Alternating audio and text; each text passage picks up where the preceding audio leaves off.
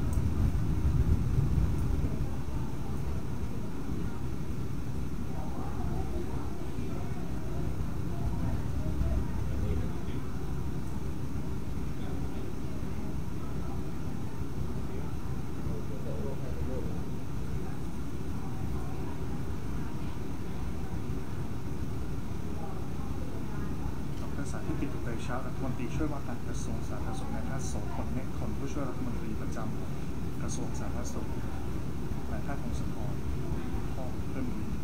นายแพทย์สมกรณ์ด้านสาธารณสุขและที่ปรึกษาระดับกระทรวง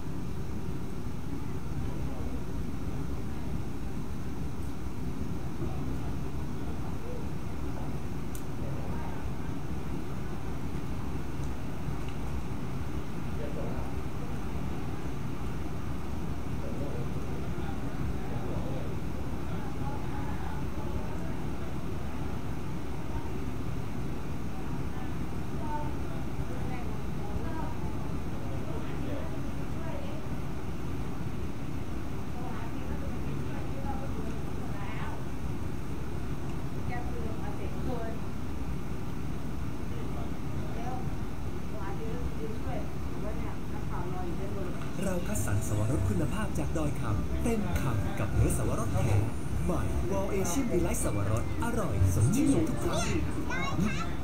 ห้าแล้วครับใหม่เอเชียนดีไลท์สวรสแสดงว่าอายุผม59ตอนนี้ก็จะ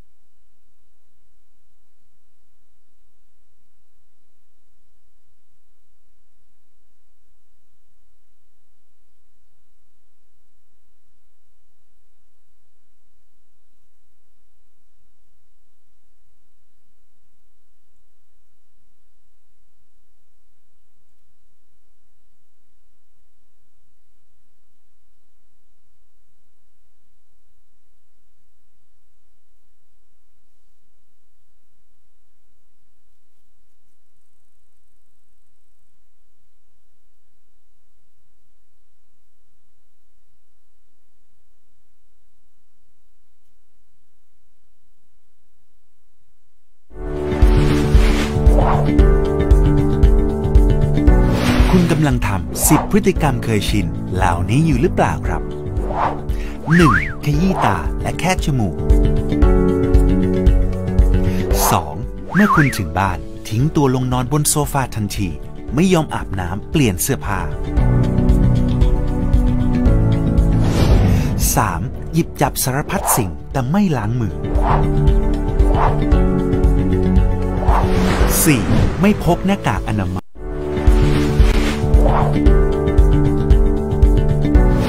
ำลังทำ10 พฤติกรรมเคยชิน เหล่านี้อยู่หรือเปล่าครับ 1. ขยี้ตาและแค่จมูก 2. เมื่อคุณถึงบ้าน ทิ้งตัวลงนอนบนโซฟาทันที ไม่ยอมอาบน้ำเปลี่ยนเสื้อผ้า 3. หยิบจับสารพัดสิ่งแต่ไม่ล้างมือ 4. ไม่พกหน้ากากอนามัย และเจลล้างมือ 5. อยู่ใกล้กัน ลืมเว้นระยะห่างอย่างน้อย 1 เมตร 6. กอดหอมจับมือคนรัก และคนในครอบครัว แค่ระยะเดียวเท่านั้นครับ 7. ป่วยแล้วไม่กักตัวเองอยู่ที่บ้าน 8. ใช้ของส่วนตัวร่วมกับผู้อื่น 9. กินอาหารที่ปรุงทิ้งไว้นานแล้ว หรืออาหารปรุงไม่สุก 10. ยังปาร์ตี้สังสรรค์กับเพื่อนฝูง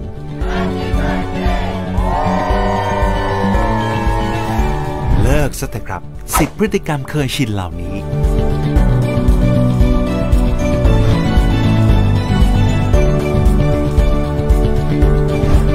เพื่อลดความเสี่ยงต่อ ติดโรค และแพร่เชื้อโควิด -19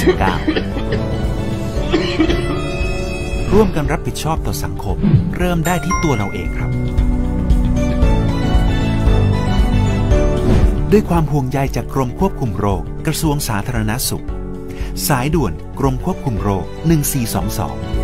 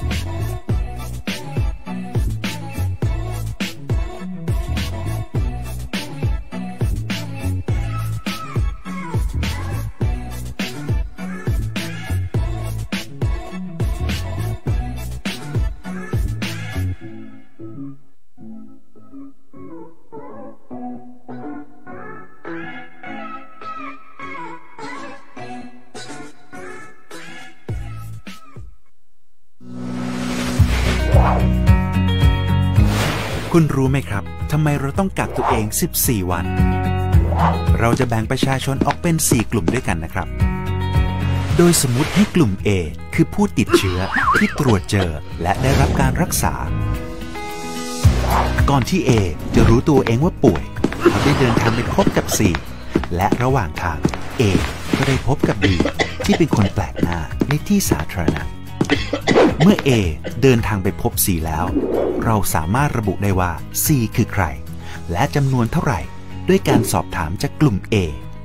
ทำให้กลุ่ม C ได้รับการกักตัวและเฝ้าระวัง สังเกตอาการ แต่ปัญหาคือ เราไม่สามารถหาตัว B ได้ เพราะเราไม่รู้ว่า B คือใคร และ B เองก็ไม่รู้ว่าตัวเองอยู่ในกลุ่ม B แล้ว ส่วนกลุ่ม D คือบุคคลที่อยู่กับบ้านไม่ได้ออกไปข้างนอก เมื่อไหร่ ที่ดีต้องออกมาจากบ้าน เขามีโอกาสที่ได้พบปะกับกลุ่ม B และเมื่อนั้น D ก็จะกลายเป็น B กลุ่มใหม่ทันที ซึ่งเหตุผลที่เราควรกักตัวเอง ก็เพื่อใช้เวลาให้บุคคลกลุ่ม B ปรากฏตัว แต่ถ้าหากทุกคนยังทำตัวเหมือนเดิม ไม่กักตัวเองอยู่ในบ้าน และไม่ทำตามคำแนะนำจะทำให้มีผู้ป่วยเพิ่มมากขึ้น จนทำให้จำนวนอุปกรณ์ และบุคลากรทางการแพทย์ ไม่เพียงพอต่อการรักษา ดังนั้นเรามาช่วยกันรับผิดชอบต่อสังคม กักตัวเอง 14 วัน เพื่อลดการแพร่เชื้อในสังคม ด้วยความห่วงใยจากกรมควบคุมโรค กระทรวงสาธารณสุข สายด่วนกรมควบคุมโรค 1422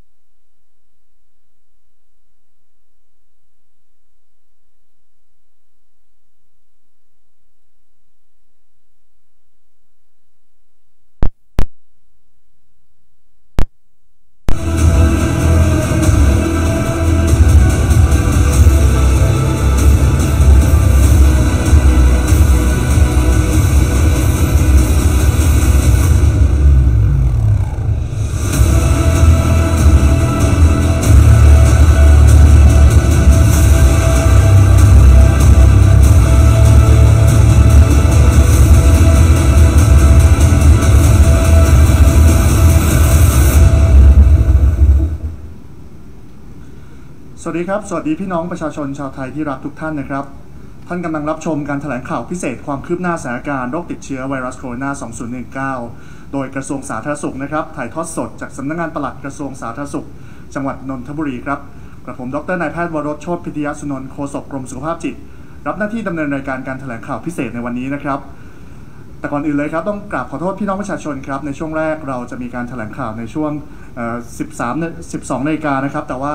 มีเหตุขัดข้องนะครับเนื่องจากมีฝนตกหนักที่กระทรวงสาธารณสุขนะครับทำให้อาจจะต้องมีการเซตระบบใหม่นะครับ ประเด็นสำคัญในวันนี้ครับที่พี่น้องประชาชนอยากฟัง แล้วก็มีทั้งคำถามข้อสงสัยในตลอดช่วงหนึ่งสัปดาห์ที่ผ่านมาครับวัคซีนป้องกันโควิด -19 ครับซึ่งอย่างที่ทราบกันดีครับในขณะนี้มีการ ให้ลงทะเบียนฉีดวัคซีนในแอปพลิเคชันหมอพร้อมนะครับ 16 ล้านโดสในกลุ่มแรกนะครับ นั่นคือกลุ่มผู้สูงอายุเกิน 60 ปีขึ้นไป และกลุ่มผู้ที่มีความเสี่ยงใน 7 โรคนะครับ ณ ขณะนี้นะครับ 16 ล้านโดสนั้น ปัจจุบันมีตัวเลขอยู่ที่ประมาณ 1.7 ล้านโดสที่มีการได้จองไปแล้วนะครับ ประเด็นนี้ถือว่าเป็นความเร่งด่วนที่ทางกระทรวงสาธารณสุข ต้องออกมาพูดคุยกับพี่น้องประชาชนครับ ซึ่งในประเด็นวันนี้นอกจากตัวเลขในการ จองเรื่องฉีดวัคซีนแล้ว ยังเป็นเรื่องเกี่ยวกับวัคซีนในลำดับถัดไป การบริหารจัดการนะครับ วัคซีนในล็อตแรกจัดการอย่างไร รวมถึงแอปพลิเคชันหมอพร้อมที่หลายคนอาจจะมีคำถามครับเกี่ยวกับแอปพลิเคชันหมอพร้อม ที่ตอนแรกอาจจะมีความไม่พร้อมอยู่บ้างนะครับและปัจจุบันนี้สามารถจัดการได้อย่างไรบ้าง มีการปรับปรุงและแก้ไขอย่างไรไปแล้วนะครับ วันนี้เราได้รับเกียรติจากรัฐมนตรีช่วยว่าการกระทรวงสาธารณสุข ดรสาธิตปิตุเตชะนะครับ และ นายแพทย์โสภณเมฆธนผู้ช่วยรัฐมนตรีประจำกระทรวงสาธารณสุขครับและอีกท่านหนึ่งครับนายแพทย์พงศธรพ่อเพิ่มดีครับนายแพทย์ผู้ทรงคุณวุฒิด้านสาธารณสุข และที่ปรึกษากระทรวงสาธารณสุขครับ วันนี้ประเด็นต่างๆ เกี่ยวกับวัคซีนนะครับ เราจะมีคำถามเยอะแยะมากมายที่ถามถึงท่านผู้ทรงคุณวุฒิทั้ง 3 ท่านนะครับคำถามนั้นส่วนมากเป็นคำถามที่พี่น้องประชาชนตั้งคำถามมาผ่านทางช่องทางต่างๆนะครับ รวมถึงรายละเอียดที่ทางกระทรวงสาธารณสุข อยากชี้แจงเพิ่มเติมนะครับ กับเรียนเชิญท่านอธิบดีท่านรัฐมนตรีช่วยว่าการครับท่านพี่น้องสื่อมวลชนนะครับ แล้วก็พี่น้องคนไทยที่ติดตามทาง Facebook Live ของกระทรวงสาธารณสุขทางบ้านนะครับสำหรับวันนี้ผมมีประเด็นที่อยากจะสื่อสารกับทุกท่านนะครับ ในเรื่องของการลงทะเบียนของคนสองกลุ่ม ในแอปหรือ Line แอปพลิเคชันหรือ Line หมอพร้อมนะครับ ซึ่งขณะนี้ก็มีการตั้งคำถามว่าจริงๆ ข้อมูลสองกลุ่มเสี่ยงหรือไวลิสที่ว่าเนี่ยนะครับ มีจำนวนประมาณ 16 ล้าน ขณะนี้มีการลงทะเบียนไปแล้ว ตัวเลขล่าสุดเมื่อวานเนี่ย16 ล้านนะครับ แต่วันนี้เพิ่มเป็น 17 ล้าน 30,000กว่าคนนะครับ แบ่งเป็นผู้สูงอายุ 11.7 แล้วก็ผู้ป่วยโรคเรื้อรัง 7 โรคเสี่ยงเนี่ยประมาณ 4.3 ล้าน ผมวันนี้ผมอยากจะขอโอกาสตรงนี้นะครับว่าเหตุผลที่อาจจะมีความล่าช้าหรือจำนวนเทียบสัดส่วนเป็นเปอร์เซ็นต์กับจำนวนที่มีกับจำนวนที่ลงเนี่ยนะครับเป็นสัดส่วนที่ยังน้อยอยู่ก็คือประมาณ 10%นะครับก็ต้องขออนุญาตเรียนว่า อาจจะมีสักสองเหตุผลก็คือ 1. ความกังวลใน อาการไม่พึงประสงค์ของการฉีดวัคซีนนะครับ แล้วก็การเข้าถึงระบบหมอพร้อมไม่ว่าจะเป็นไลน์แล้วก็แอปพลิเคชันหมอพร้อม แล้วก็ผสมกับปัจจัยที่ 2 กลุ่มนี้ ส่วนใหญ่ก็จะเป็นผู้สูงอายุแล้วก็เป็นผู้ป่วยนั้นการกระตือรือร้นในเรื่องนี้อาจจะยังช้าอยู่ แต่ผมอยากจะเรียนว่าวัตถุประสงค์ของกระทรวงสาธารณสุขนะครับ แล้วก็ทางทีม การบริหารจัดการวัคซีนที่เราให้ 2 กลุ่มนี้เป็นกลุ่มแรกๆเหตุผลที่สำคัญก็คือว่า เราจะรักษาคุ้มครองนะครับชีวิตของผู้สูงวัยกับคนป่วยในสังคมนี้ ประเทศไทยเป็นเมืองพุทธ เราจะรักษาชีวิตสองคนกลุ่มนี้ไว้ก่อน แต่เราไม่ได้ละเลยนะครับ หรือระบบเราไม่ได้ละเลยคนกลุ่มอื่น ไม่ว่าจะเป็นกลุ่มอาชีพที่มีความเสี่ยงนะครับ หรือเป็นกลุ่มที่ทำงานด่านหน้า หรือกลุ่มต่างๆ ในพื้นที่จังหวัดที่มีความจำเป็นทางด้านเศรษฐกิจนะครับหรือกลุ่มต่างๆ ที่เราถูกจัดลำดับไว้เพียงแต่ว่าที่เราเปิดลงทะเบียนหมอพร้อมผ่าน 2 กลุ่มนี้ สัมพันธ์กันกับจำนวนวัคซีนที่เราจะได้รับเป็นล็อตใหญ่ล็อตแรก และเป็นล็อต ที่มีจำนวนมาก ในขณะเดียวกันวัคซีนที่ได้มาก่อน ก็ถูกกระจายตามจังหวัดต่างๆ ตามพื้นที่ที่ระบาดพูดง่ายๆเราให้ความสำคัญนะครับที่มีความแตกต่างกัน แต่ว่าล็อตใหญ่ที่เรากำลังจะพูดถึงก็คือว่าเราต้องการรักษาคุ้มครองคนสองกลุ่มนี้นะครับเพราะฉะนั้นวันนี้ผมจึงออกมาเพื่อให้พี่น้องคนไทยและมากระตุ้น คนไทยทั้งประเทศครับ ว่าผมขอเวลาพี่น้องคนไทยทั้งประเทศ ผมขอเวลาสองอาทิตย์ครับ ขอเวลาให้ท่านทำอะไรฮะขอให้ท่านเตรียมตัวสำหรับตัวท่านเอง และผมขอให้คนไทยทุกคนได้ช่วยคนแก่กับคนป่วยเจ็ดกลุ่มโรคเสี่ยงที่มีความเสี่ยงสูง ถ้าหากเขาติดเชื้อแล้วเขามีโอกาสเสียชีวิต โดยการที่ให้คนไทยทุกคนลุกขึ้นมาพาคนสองกลุ่มนี้ ให้เข้าถึงระบบหมอพร้อม ให้เร็วและให้มากที่สุดครับ วิธีการก็คือว่า ผมเชื่อว่าที่บ้านท่านมีคนแก่ ส่วนใหญ่ หรือที่บ้านท่านอาจจะมีคนป่วยที่เป็นเจ็ดกลุ่มโรคเสี่ยง ถ้าในขณะนี้ทั้งคนแก่ที่บ้านท่านคนป่วยที่บ้านท่านยังไม่สามารถเข้าถึงระบบหมอพร้อมได้ ผมอยากให้ท่านช่วยเขาครับ ทุกคนช่วยกันนะครับ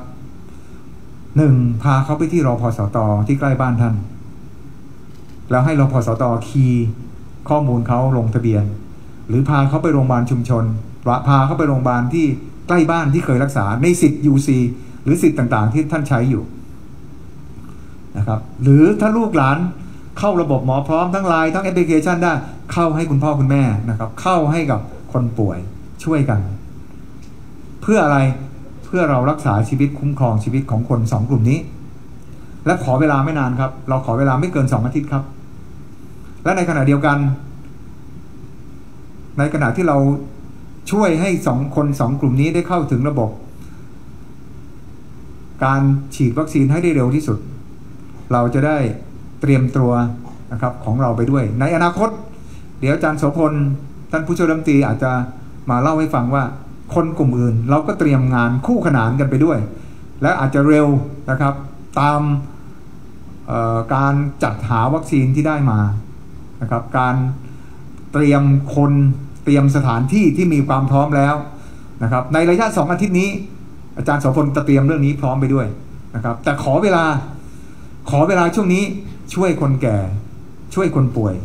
นะครับให้เข้าสู่ระบบให้ได้ฉีดวัคซีนให้เร็วที่สุด ผมเรียนกับทุกคนนะครับ มีวัคซีนไม่สำคัญเท่ากับการได้ฉีดวัคซีนครับ วัคซีนมีแล้วถ้าไม่ได้ฉีดก็ไม่มีประโยชน์ เพราะฉะนั้นเราต้องช่วยคนในบ้านเรานะครับ พาเขาไปลงทะเบียนเพื่อให้ได้รับการฉีดให้เร็วที่สุด ส่วนในระบบต่างๆที่อาจจะยังมีความสงสัยนะครับ เดี๋ยวอาจารย์ หมอกล้องนะครับอาจารย์พงศธรก็จะมาเล่าให้ฟังว่าระบบเป็นยังไง แต่ผมยกตัวอย่างขึ้นมาเพื่อให้ท่านเห็นภาพ ถ้าท่านต้องการติดตามข้อมูลว่าจะต้องพาหรือช่วยยังไง ท่านดูตัวอย่างที่จังหวัดลำปางโมเดลนะครับลำปางโมเดลเขาทำกันยังไง โทรศัพท์ไปให้ไปที่รพสตไปที่อสม แล้วพาไปลงทะเบียนนะครับ เพื่อที่จะให้มีการเข้าถึง ระบบหมอพร้อมให้ได้อย่างดีที่สุดนะครับเพราะฉะนั้นในส่วนนี้ถ้าท่านสงสัยนะครับ หรือท่านติดตามการถแถลงข่าวนี้ ก็ขอให้ท่านช่วยกันบอกต่อว่า ผมย้ำว่าสองอาทิตย์นี้ ช่วยคนแก่ ช่วยคนป่วยที่บ้านท่าน ให้เข้าถึงการได้รับการฉีดวัคซีนให้เร็วที่สุดในเดือนมิถุนายนนี้นะครับ ผมขอความกรุณาทุกท่านครับ ขอบพระคุณมากครับ เรียนท่าน รัฐมนตรีช่วยว่าการกระทรวงสาธารณสุขนะครับ ท่านดรสาธิตปิตุเตชะนะพี่น้องสื่อมวลชนนะครับ แล้วก็ท่านผู้รับชมรับฟังทางบ้านด้วยนะครับขออนุญาตนำเรียนว่าถ้าเราดูข้อมูลเกี่ยวกับเรื่องโรคโควิด -19 เนี่ยนะครับผู้ที่เสียชีวิตนะครับหรือผู้ที่จะต้องเจ็บป่วยหนักเนี่ยนะครับส่วนใหญ่จะเป็นผู้สูงอายุนะครับแล้วก็เป็นผู้ที่มีโรคประจำตัวนะกลุ่ม 7 โรคเรื้อรังนี่แหละนะนี่ก็เป็นเหตุผลที่ทำไมเราถึงให้ 2 กลุ่มนี้ก่อน นะครับ เพราะว่าประโยชน์ของวัคซีนโดยตรงจริงๆในจากการศึกษาวิจัยมาเนี่ยนะครับจะได้ประโยชน์ในเรื่องของการลดป่วย แล้วก็ลดตายนะฮะทุกๆ ยี่ห้อเลยนะฮะจะได้ประโยชน์ตรงจุดนี้ ผมยัดนำเรียนข้อมูลของของประเทศไทยเรานะครับเอ่อตอนนี้เนี่ยนะครับที่ใช้เตียงนะครับสำหรับแอดมิดหรือดูแลรักษาเนี่ยเตียงอาการหนักเนี่ยทั้งหมดมีเนี่ย956 เตียงนะครับ แล้วก็ใช้ไปทั้งหมดเนี่ยตอนนี้ 85%แล้วนะครับ มีเตียงว่างในภาครัฐเพียง 44 เตียงนะครับ แล้วก็เตียงภาคเอกชน 95 เตียง เรียกว่าใช้ไปเนี่ยทั้งหมด 85%นะฮะเตียงว่างในการที่จะมารับเนี่ยค่อนข้างจะลำบากนะครับ นั่นคือเหตุผลอันที่1นนะครับ ที่ว่าตอนนี้คนไข้หนักเนี่ยนะครับนอนโรงพยาบาลเยอะมากนะครับ จนเตียงอาจจะต้องขยายนะครับ ประเด็นที่ 2 ก็คือการเสียชีวิต นะครับในรอบนี้นะครับเสียชีวิตทั้งหมดเนี่ยตั้งแต่รอบนี้มาเนี่ยช่วงสงกรานเนี่ย358 คนนะครับอย่างวันนี้ก็เสียชีวิตอีก 31 คนนะครับถ้าเราไปดูแล้วเนี่ยนะครับวิเคราะห์ข้อมูลลงไปดูเนี่ยจากข้อมูลจากสำนักระบาดวิทยากรมควบคุมโรคกระทรวงสาธารณสุขเนี่ยมีโรคประจำตัวเนี่ย 86%นะมีโรคประจำตัว 86%นะครับแล้วก็อายุนะครับ ผู้ที่เสียชีวิตเนี่ยอายุมัธยฐานเนี่ยอยู่ที่ 65 ปีนะครับทั้งมีโรคประจำตัวแล้วก็สูงอายุนั่นเป็นเหตุผลนะครับที่ว่าทำไมเราถึงควรให้วัคซีนกับนะคนกลุ่มนี้ก่อน ถ้าไปดูสาเหตุการการเสียชีวิตนะครับว่าติดโรคมาได้อย่างไรเนี่ยนะครับวิเคราะห์ข้อมูลลงไปเนี่ย 58เปอร์เซ็นต์58เปอร์เซ็นต์ติดจากคนในครอบครัวหรือญาติมาเยี่ยมนะครับหรือจากเพื่อน นะฮะเรียกว่าเกือบเกือบหกสิบเปอร์เซ็นต์เนี่ยนะครับติดโดยที่ป้องกันได้ยากถ้าติดจากคนในครอบครัวนะครับ อีก 18%เนี่ยไปในแหล่งชุมชนนะครับ มี 5%นะอาชีพเสี่ยง แล้วก็มีอื่นๆอีกนะครับ ซึ่งปัจจัยที่สำคัญในการที่จะทำให้เตียงโรงพยาบาลเนี่ยนะครับไม่ต้องรับโหลดมากขนาดนี้ แล้วก็การที่จะปกป้องชีวิตของนะครับคนที่เรารักคนที่เราเคารพ ได้เนี่ยนะครับคนในครอบครัวได้ก็คือวัคซีน วัคซีนเป็นเครื่องมือที่สำคัญจริง ๆ ในการที่จะดูแลนะครับแล้วก็เพื่อลดการสูญเสียนะครับแล้วลดการที่ต้องมานอนโรงพยาบาลได้อย่างดีนะครับไม่ว่าจะเป็นประสบการณ์จากในถ้าดูจากข้อมูลนะครับที่เขาศึกษาวิจัยในระยะที่ 3 นะครับ วัคซีนส่วนใหญ่จะได้ตรงนี้นะกับประสบการณ์ของต่างประเทศไม่ว่าจะเป็นที่ประเทศอังกฤษ หรือสหรัฐอเมริกาเนี่ยเราจะเห็นเลยตอนนี้นะครับ หลังจากฉีดวัคซีนเข้าไปเนี่ยนะครับเพียงดูตัวเลขนะครับวันนี้ 30-40%เท่านั้นเองนะครับ ตัวเลขการป่วยก็ลดลงแล้วนะครับการเสียชีวิตก็ลดลงนะอันนี้คือจุดที่ทางกระทรวงสาธารณสุขจึงจึงเน้นนะครับว่าทำไมถึงอยากจะเร่งรัดการฉีดวัคซีนนะครับแล้ววัคซีนของหลักของเราเนี่ยนะฮะตอนนี้จะเป็นแอสตราเซเนกานะครับการที่เราจองให้ฉีดในวันที่ เริ่มฉีดใน7มิถุนายนนะครับ ในเดือนมิถุนายนนั้นจะมีวัคซีนของแอสตราเซเนกาเข้ามาเป็นวัคซีนหลักที่ใช้ในการฉีดให้กับพี่น้องประชาชน คนที่จองทางหมอพร้อม วัคซีนแอสตราเซเนกาเนี่ยนะครับจะป้องกันป่วยได้ถึง 76%แม้ฉีดเข็มเดียวนะครับ ฉีดเข็มเดียวก็ป้องกันการป่วยได้แล้วถึง 76%นะฮะแล้วจากประเทศอังกฤษเนี่ยเข็มเดียวก็ลดการความเสี่ยงในการเสียชีวิตได้ถึง 80% นะตอนนี้เป้าหมายของเราเนี่ยเร่งรัดการฉีดเข็มที่ 1 เพื่อครอบคลุมพี่น้องประชาชนให้ได้มากที่สุดนะครับจึงจัดระบบให้มีการลงทะเบียนการจอง ไม่ว่าจะเป็นหมอพร้อมหรือทางอสม หรือทางรพสตนะครับ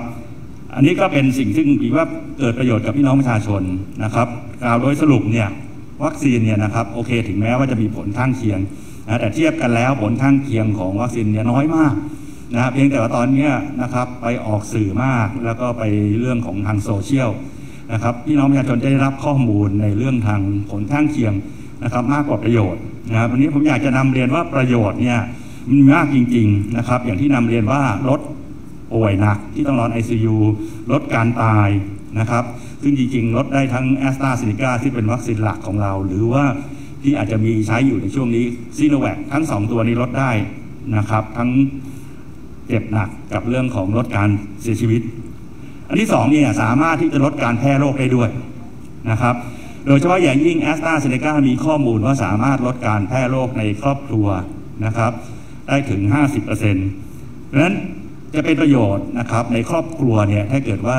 มีพ่อแม่มีลูกมีปู่ย่าเนี่ยตอนนี้ให้ปู่ย่าฉีดเพื่อปกป้องนะครับ ชีวิตของปู่ย่าตายายนะครับ แล้วในอนาคตเนี่ยฉีดคุณพ่อคุณแม่ด้วยเนี่ย นะครับ เพราะว่าบางครั้งเนี่ยนะเด็กที่อายุต่ำกว่า 18 ปียังให้วัคซีนเรื่องของแอสตราเซเนกาไม่ได้นะก็จะลดการแพร่โรคนะครับ จากคุณพ่อคุณแม่เนี่ยไปสู่เด็กหรือในครอบครัวนะอันนี้เป็นประโยชน์ซึ่งนอกจากตัวเราเองแล้วเนี่ยยังมีประโยชน์กับครอบครัวกับคนที่เรารักด้วยนะครับ อีกประเด็นที่สำคัญมาก ๆ ก็คือลดคือสามารถที่จะทำให้ลดปัญหาสามารถที่เรากลับมาใช้ชีวิตได้นะฮะเป็นแบบ new normal วิถีใหม่นะครับ สามารถที่จะทำให้ประเทศเนี่ยขับเคลื่อนหรือเดินหน้าเศรษฐกิจได้นะครับจังหวัดซึ่งให้ความสนใจนะครับในการที่เร่งรัดให้พี่น้องประชาชนได้รับวัคซีนให้ครอบคลุมมากที่สุด เช่นภูเก็ตนะครับก็คิดว่าน่าจะสามารถเดินหน้าเศรษฐกิจได้รวดเร็วนะครับหรือจังหวัดซึ่งสามารถที่จะเร่งรัดฉีดวัคซีนได้เยอะๆ ไม่ว่าจะเป็นที่แม่สอดนะครับหรือสมุทรสาครนะครับอัตราการเกิดโรคก็ลดลง นะครับ แล้วก็คิดว่าจังหวัดซึ่งเร่งรัดฉีดวัคซีนได้เยอะเนี่ยสามารถที่จะกลับมาใช้ชีวิตปกติได้ดีขึ้นนะครับ แล้วผลข้างเคียงนะครับ ขอเน้นย้ำอีกครั้งหนึ่งนะครับ มีน้อยมากๆนะครับ จากการศึกษาแล้วก็ผลงานของผลจากที่เราเฝ้าสังเกตนะฮะจากต่างประเทศนะครับ เรามีระบบในการที่ดูแลเรื่องความปลอดภัยในการฉีดนะครับ มีการเฝ้าสังเกตอาการครึ่งชั่วโมง นะครับ ซึ่งในระยะที่ครึ่งชั่วโมงนี้มันจะเกิดเรื่องของอนาฟาเล็กซิสหรือการการแพ้นะฮะเราสามารถที่จะช่วยเหลือดูแลได้ ไม่มีใครเสียชีวิตเลยนะครับ หลังจากที่เราฉีดมาเป็นล้านล้านสักล้านกว่าเข็มแล้ว ไม่มีปัญหาตรงจุดนี้นะครับ แล้วเราก็มีระบบในการที่ออกแบบไว้เพื่อเพื่อเยียวยานะเพราะฉะนั้นก็ขออนุญาตนำเรียนพี่น้องประชาชนนะครับ โดยเฉพาะยิ่ง 2 กลุ่มที่เป็นเป้าหมายของเรานะฮะที่ให้การจองในเดือนพฤษภาคมนี้ทั้งคนที่มีอายุเกิน 60 ปีขึ้นไปกับกลุ่มโรคเรื้อรัง แล้วก็ขอให้ท่านมั่นใจนะครับในวัคซีนแล้วก็ชั่งน้ำหนักนะครับประโยชน์เนี่ยนะครับมีมากกว่าผลข้างเคียงมากมายนะครับ อย่าไปกลัวนะฮะและขอให้คิดว่าอันเนี้ยนะครับมันเป็นเรื่องเพื่อปกป้องตัวเราเองนะครับ ปกป้องครอบครัวเราชุมชน แล้วก็สังคมส่วนรวมด้วยครับ ขอบคุณมากครับ ครับผมก็ขอบคุณท่านโสพลเนตคนนะครับ ลำดับถัดไปเป็นคำเข้าสู่ช่วงคำถามเลยไหมครับ เข้าสู่ช่วงคำถาม หรือว่าเดี๋ยวจะเป็นเป็นท่านลำดับถัดไปเป็นนายแพทย์พงศธรพ่อเพิ่มดีนะครับนายแพทย์ทรงคุวุฒิด้านสาธารณสุขและที่ปรึกษาระดับกระทรวงนะครับกับเรียนเชิญอาจารย์ครับครับกับเรียนท่านผู้ช่วยรัฐมนตรีครับพี่น้องสื่อมวลชน แล้วก็กับเรียนพ่อแม่พี่น้องประชาชนที่อยู่ทางบ้านนะครับ วันนี้ผมขออนุญาตจะมานำเรียนอยู่ใน 3 เรื่องนะครับ เรื่องแรกก็คือว่าเรื่องช่องทาง นะครับ ที่พ่อแม่พี่น้องประชาชนจะเข้าสู่ระบบได้เนี่ยตัวระบบหมอพร้อมเนี่ยออกแบบไว้ 2 ช่องทางสำหรับ 2 กลุ่มคนนะครับ โดยช่องทางแรกเนี่ยเป็นช่องทางสำหรับคนกรุงเทพหรือคนที่อยู่ในเขตเมือง เราออกแบบโดยใช้หมอพร้อมที่เป็นแอปพลิเคชัน และหมอพร้อมไลน์ส่วนพ่อแม่พี่น้องที่อยู่ตามต่างจังหวัดเนี่ยนะครับที่อยู่ในพื้นที่ชนบทเนี่ยเราออกแบบโดยใช้คำง่ายๆว่าระบบอนาล็อก ก็คือใช้อสมหรือพสต ซึ่งทั้งสองทางเนี่ยข้อมูลก็จะสามารถวิ่งเข้ามาสู่โรงพยสู่ระบบหมอพร้อมในส่วนกลางได้เช่นเดียวกันนะครับ ผมยกตัวอย่างว่าในเขตกรุงเทพมหานครเนี่ยที่ผ่านมาเป้าหมายมีประมาณ1ล้าน2แสนคนวันนี้จองเข้ามาได้แล้วเกือบ6แสนคน ซึ่งเราก็ใช้เป็นระบบของคนเมืองคือระบบดิจิตอลนะครับขณะที่คนอยู่ในต่างจังหวัดเนี่ย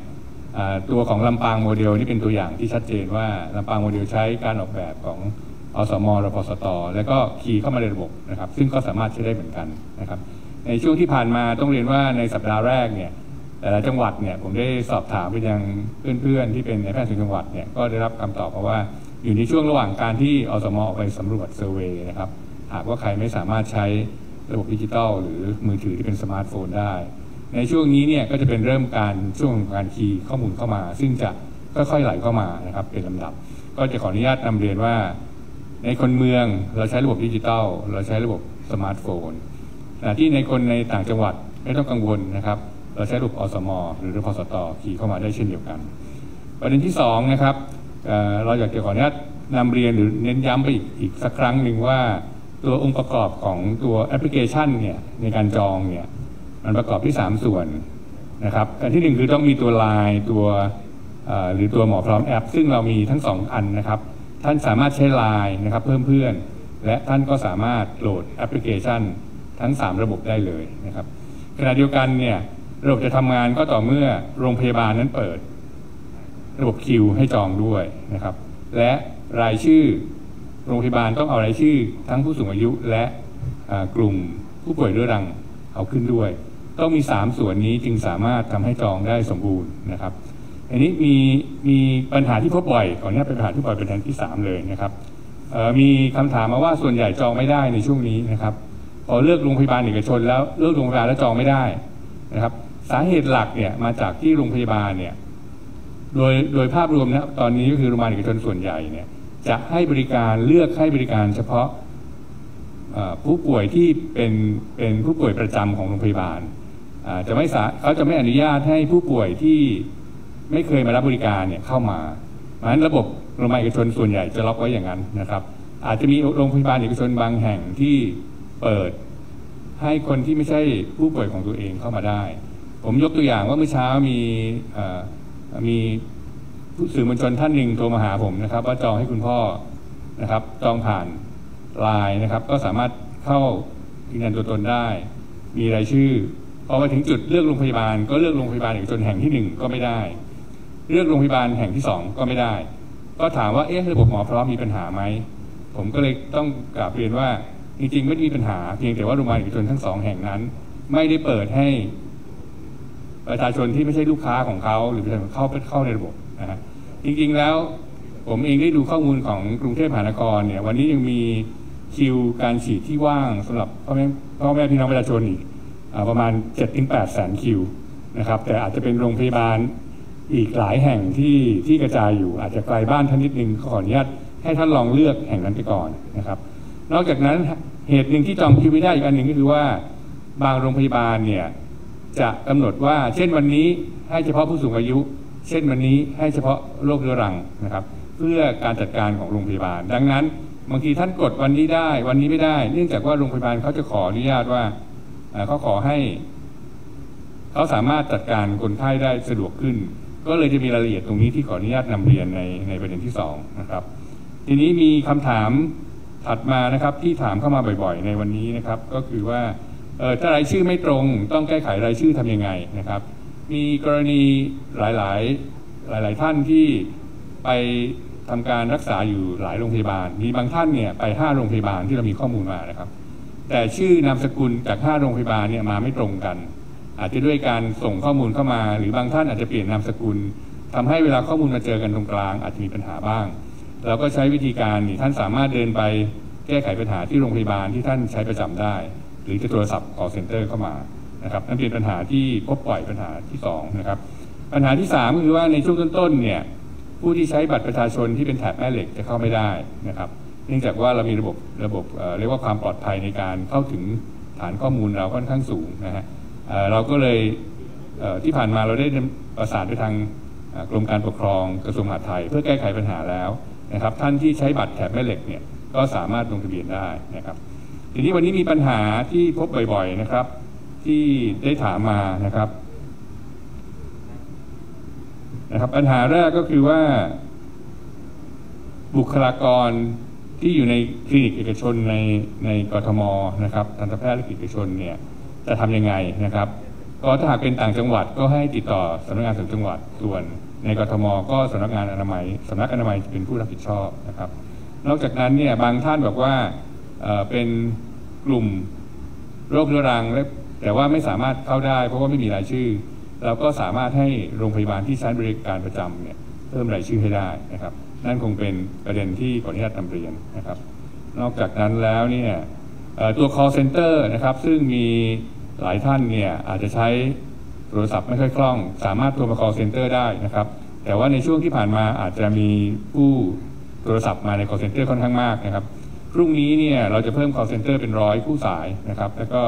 ในวันที่ 15เป็นต้นไปเนี่ยจะเพิ่มเป็น 24 ชั่วโมง และเพิ่มอีกเป็น 160ผู้สายนะครับ เราคิดว่าในวันที่ 12 จนถึงวันที่ 15 เป็นต้นไปเนี่ยพี่น้องประชาชนจะสามารถแก้ไขปัญหาที่ยังติดขัดได้ ได้ดีมากขึ้นนะครับนั้นผมขออนุญาตนำเรียนในเบื้องต้นประมาณนี้ก่อนนะครับ โดยสรุปก็คือว่าช่องทางการเข้าถึงมีทั้งแบบ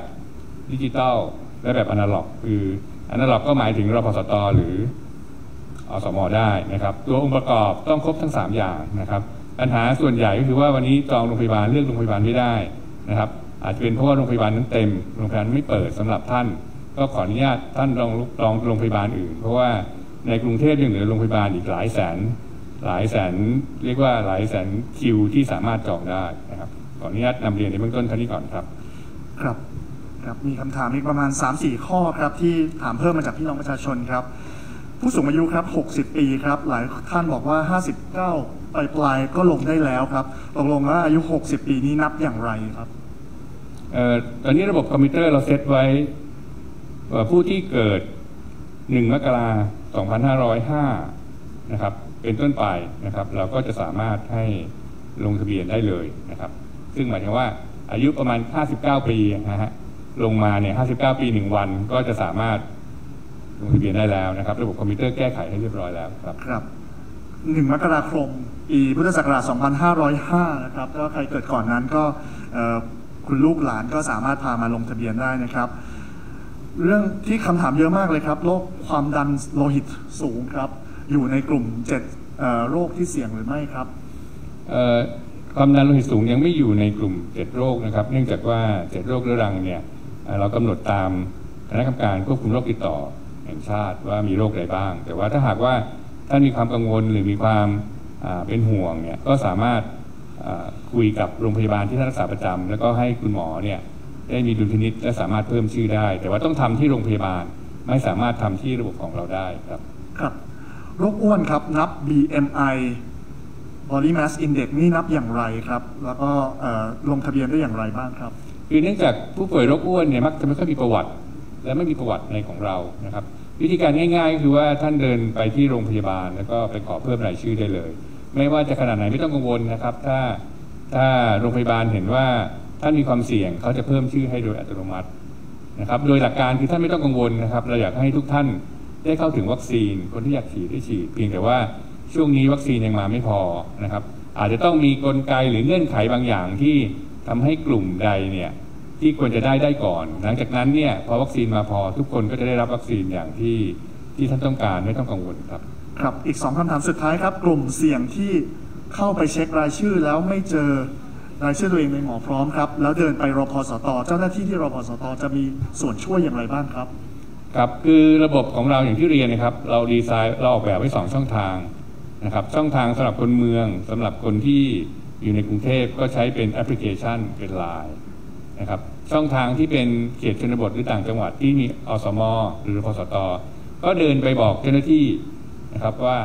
เป็นกลุ่มเสี่ยงขอฉีดวัคซีน เดี๋ยวเจ้าหน้าที่ ถ้าหากว่าเขาทำไม่ได้เขาจะเอาชื่อของท่านส่งไปทำที่โรงพยาบาลใกล้บ้านโรงพยาบาลอำเภอได้เลยนะครับ ก็ก็ต้องเรียนว่าระบบเนี่ยเราออกแบบไว้แบบนั้น ซึ่งซึ่งท่านในแพทย์สุจังหวัดทั่วประเทศเนี่ยก็รับทราบนโยบายแล้วก็ดำเนินการตามนี้อยู่แล้วครับครับคำถามสุดท้ายครับอาจารย์ครับ ณ ตอนนี้โคต้าที่บอกว่าฉีด 16 ล้าน 17 ล้านโดสแรก ยังเหลือโคต้าอีกค่อนข้างมาก และเหลือเวลาอีก2สัปดาห์ ที่จะหมดช่วงลงทะเบียนแล้วณตอนนี้มีโคต้าอาจจะเหลือถึง 10 ล้านโดส โคต้าที่เหลือตรงนี้จะมีการปรับอย่างไร มีการขยายมาฉีดในกลุ่มอื่นหรือไม่อย่างไรครับ ผมผมเองเรียนว่าข้อมูลที่เข้ามาในช่วงแรกเป็นข้อมูลของคนที่เข้าถึงเทคโนโลยีนะครับคนที่สามารถมีสมาร์ทโฟนเข้าถึงหรือมีลูกหลานที่สามารถลงทะเบียนให้ได้ขณะเดียวกันเรามีพี่น้องประชาชนผู้สูงอายุโรคเรื้อรังอีกกลุ่มหนึ่ง ที่อยู่ตามชนบทนะครับ ซึ่งอาจจะไม่มีอินเทอร์เน็ต อาจจะไม่มีมือถือ หรือลูกหลานเนี่ยทำงานอยู่ในเมืองนะครับคนกลุ่มนี้เนี่ยต้องต้องขอเวลาให้เรานิดหนึ่งไม่งั้นเราจะไม่สามารถดูแลคนเหล่านี้ได้ การดูแลคนเหล่านี้คือการใช้ระบบอสมรพสต ให้เข้าถึง ถ้าหากว่าเรารีบเกินไปเร่งเกินไป เราจะทิ้งคนกลุ่มนี้ไว้ที่หลัง ไว้ข้างหลัง ซึ่งเขาไม่มีโอกาสเข้าถึงไม่มีโอกาสดูแลนะครับ เพราะว่าเขาไม่สามารถเข้าถึงสมาร์ทโฟน เขาไม่สามารถเข้าถึงอินเทอร์เน็ต เขาก็ไม่สามารถลงทะเบียนมาได้ ดังนั้นจึงอยากจะขออนุญาตกราบเรียนพี่น้องประชาชนซึ่งอาจจะเห็นข้อมูลยังยังน้อยอยู่ ผมเชื่อว่าขณะนี้เนี่ยฮะต่างจังหวัดเนี่ยกำลังทยอยเข้ามากำลังทยอยเข้ามา ขอเวลาอีกสักนิดหนึ่งเพื่อให้เราได้ดูแลคนกลุ่มนี้ก่อนนะครับ คือคนที่เรียกว่าอยู่ในชนบทนะครับเข้าไม่ถึงสิ่งต่างๆ เหล่านี้ ถ้าหากว่าเวลาผ่านไปที่เหมาะสมแล้ว และวัคซีนยังเหลือ ทางคณะกรรมการได้เตรียมไว้แล้วนะครับ ว่าจะจัดสรรให้กลุ่มใด ขออนุญาตนำเรียนเท่านี้ครับ ครับ วันนี้ต้องกราบขอบพระคุณนายแพทย์พงศธรพ่อเพิ่มดีนะครับนายแพทย์ผู้ทรงคุณวุฒิด้านสาธารณสุขและที่ปรึกษากระทรวงสาธารณสุขนะครับรวมไปถึงดรสาธิตปิตุเตชะครับรัฐมนตรีช่วยว่าการกระทรวงสาธารณสุข และนายแพทย์โสพลเมฆทนครับผู้ช่วยรัฐมนตรีประจำกระทรวงสาธารณสุขครับ วันนี้พี่น้องประชาชนก็ได้รับคำตอบในหลาย ๆคำถามนะครับที่มีการถามกันมาในช่วงนี้นะครับ สิ่งที่สำคัญที่สุดสำหรับผู้สูงอายุ และผู้ที่มีกลุ่มเสี่ยงเจ็ดโรคในขณะนี้ คือการได้รับวัคซีนนะครับ ก็หลายท่านอาจจะประสบปัญหาในการใช้แอปพลิเคชัน หรือใช้ไลน์ก็ตามนะครับ ลูกหลานนะครับ หรือคนที่อยู่ในบ้าน ก็มีส่วนในการช่วยนะครับช่วยอธิบายทำความเข้าใจต่างๆ รวมถึงช่วยเหลือในการลงทะเบียน รวมถึงการช่วยเหลือในการพาที่ไปรอพสตเพื่อลงทะเบียนแบบแมนนวลก็ได้นะครับ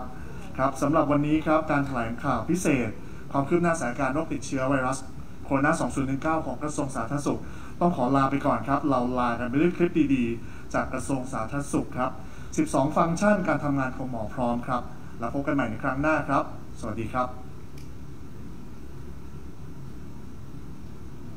วันนี้เรามาเรียนรู้ 12 ฟังก์ชัน การใช้ Line Official Account หมอพร้อม